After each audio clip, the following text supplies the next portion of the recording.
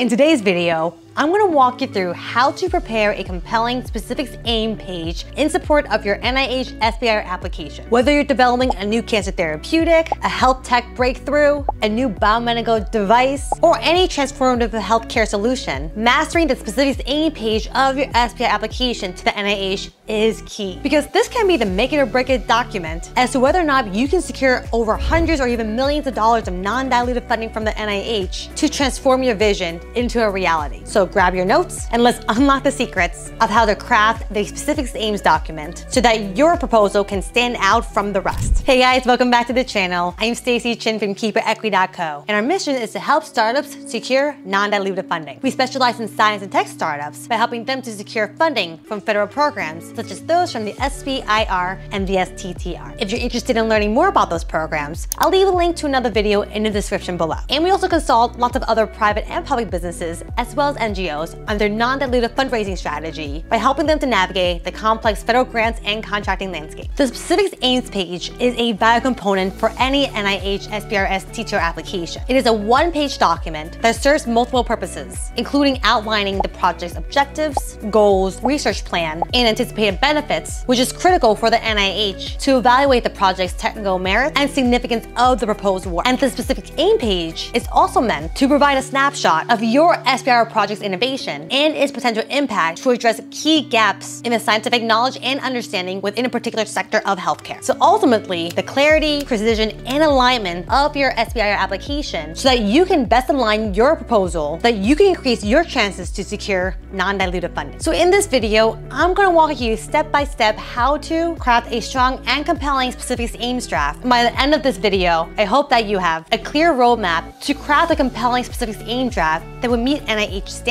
So stay tuned for a comprehensive breakdown of each of the crucial elements. But before we get into it, I have one small favor to ask you. We've recently learned that 90% of our viewers have not yet subscribed to our channel, and our goal is to get that down to 70%. So if you found any of these videos or tips helpful, we would greatly appreciate if you can like this video and subscribe to this channel. And in exchange, we're promised to continue working hard to provide you founders with the necessary knowledge, resources, insights, and tips to support you in your non-dilutive fundraising journey. And now let's jump into it. So the first thing you want to include in a specific aim draft is to identify the problem that you want to solve. You want to consider a couple key factors. First, clearly define the specific problem or challenge you're trying to solve. And you want to make sure this problem statement is relevant, significant, and is aligned to NIH's funding priority. Provide compelling evidence, such as relevant statistics or data, and you want to illustrate the problem's magnitude and impact in that manner as well. Additionally, emphasize how solving the problem will fill a gap in the current knowledge or technology and how that will contribute to advancing the scientific understanding within a critical healthcare need. And finally, make sure this problem statement is concise and focused. Next up, founders should explain why there's a technical need, provide a compelling rationale as to why this proposed project is critical, emphasize any existing gaps or limitations in today's methodologies, devices, solutions, or approaches that's related to the problem, and then highlight why your innovation is superior compared to current existing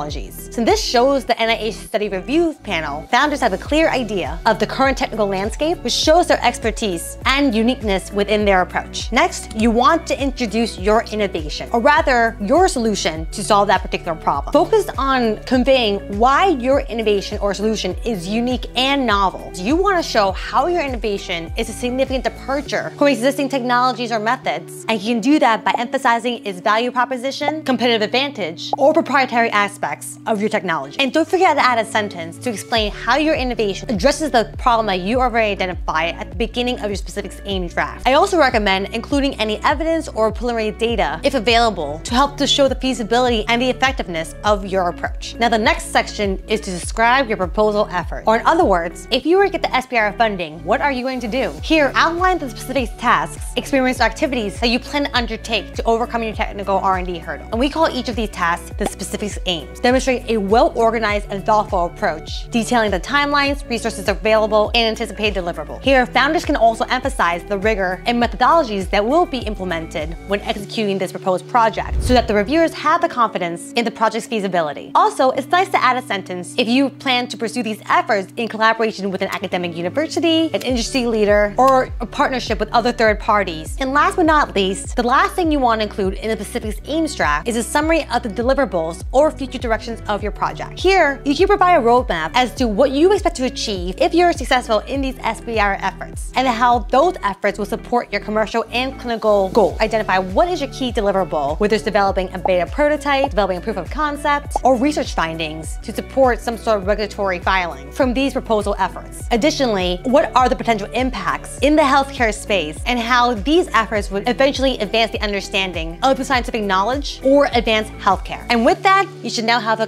compelling and well-crafted specifics AIM page that you include with your NIH SBIR application. Thank you so much for watching to the end of this video. I hope you found these tips helpful to help you draft a compelling SBIR specifics AIMS draft. And if you haven't done so, I would greatly appreciate if you like this video and subscribe to this channel. And don't forget to check out our website at keepyourequity.co where you find lots of other resources, templates, and advice on how you can secure non-dilutive funding throughout your fundraising journey. Thank you so much for joining me today, and I'll see you in the video very soon.